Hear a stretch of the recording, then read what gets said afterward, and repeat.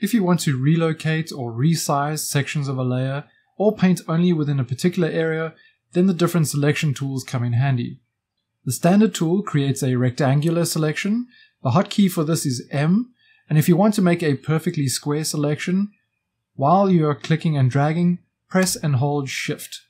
The circle selection does the same thing, but it's round.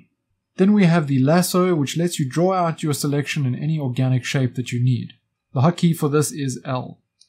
To add to an existing selection, press and hold Shift before you click to draw and drag again. To erase a part of your selection, press and hold Alt before you click to drag and draw out your selection.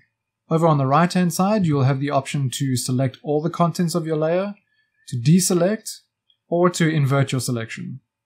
Many people use selections and the paint bucket tool to quickly build up shapes and sharp silhouettes on the canvas. We've combined those two tools into the lasso fill.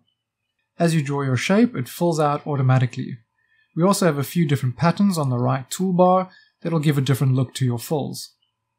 Your lasso can be set to draw or erase mode, but if you have auto erase mode activated, when you press and hold E, it becomes a smart erase tool. This will let you easily and quickly carve into your shapes.